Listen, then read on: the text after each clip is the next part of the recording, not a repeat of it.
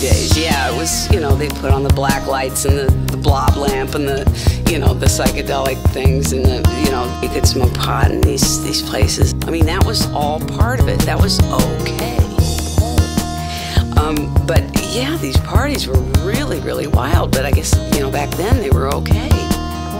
As the evening progressed, these parties would get like wilder and wilder and wilder.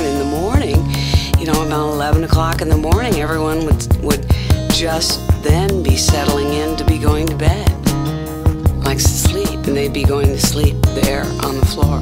It was completely fine to to sleep with somebody else. In fact, it was it was perfectly fine to sleep with your best friend in front of the other person.